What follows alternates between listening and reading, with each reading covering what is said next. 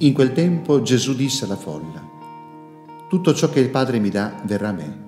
Colui che viene a me, io non lo caccerò fuori, perché sono disceso dal cielo non per fare la mia volontà, ma la volontà di colui che mi ha mandato. E questa è la volontà di colui che mi ha mandato, che non perda nulla di quanto egli mi ha dato, ma che lo risusciti nell'ultimo giorno.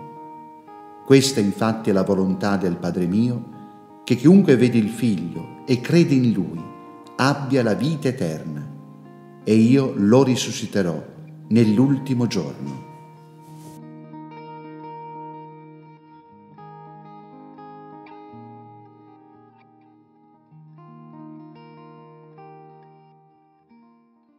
Nel momento in cui chiuderemo gli occhi a questa terra.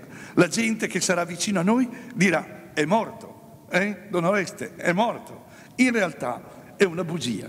Sono morto per chi mi vede, per chi sta lì, le mie mani saranno fredde, il mio occhio non potrà più eh, vedere, ma in realtà la morte non esiste, perché appena chiudo gli occhi a questa terra mi apro all'infinito di Dio. Noi lo vedremo, come si dice Paolo, a faccia a faccia, così come egli è. E si attuerà quella parola che la sapienza dice al capitolo 3, Dio ha creato l'uomo immortale, per l'immortalità, a sua natura, secondo la sua natura l'ha creato.